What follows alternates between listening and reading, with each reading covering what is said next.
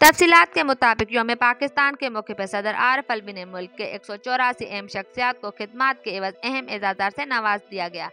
जिसमें पाकिस्तान के मशहूर अदाकार भी शामिल है। सबसे पहले बात करते पाकिस्तान के मकबूल अदाकार हुमायूं सईद, जिसको प्राइड ऑफ़ परफॉर्मेंस से नवाज़ दिया गया। हुमायूं सईद ने 2010 में सिक्स सिग्मा के नाम से प्रोडक्शन का आगाज़ किया। हुमायूं सईद अब तक 50 से ज़्यादा ड्रामे और पाँच फ़िल्में बना चुके हैं। वो पाकिस्तानी इंडस्ट्री को कई मैारी ड्रामे पेश कर चुके हैं। इन्होंने पाकिस्तान के बुलंद रेटेड ड्रामा मेरे पास तो में मिसाली किरदार अदा किया। दूसरे नंबर पर बात करते हैं। शोबिस इंडस्ट्री की सबसे सीनियर अदाकारा रेशम।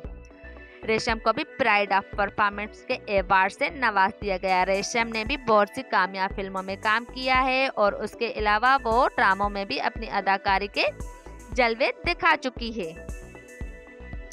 तीसरे नंबर पे बात करते हैं पाकिस्तान के मशहूर गुलकार और अदाकार अली ज़फ़र। अली ज़फ़र का शुमार मौजूदा दौर के कामयाब अदाकार और गुलकारों में होता है। 2018 में अली ज़फ़र ने एक फ़िल्म साइन की, जिसका नाम था थ्री फिन ट्रेबल इस फ़िल्म ने रिकॉर्ड तोड़ बिज़नेस किया। वीडियो आपको कैसी लगी? कमेंट सेक्शन में अपनी राय का इजहार ज़रूर कीजिएगा। मिलते हैं एक और नई वीडियो के साथ। तब तक अपना ख्याल रखिएगा। अल्लाह हाफिज़।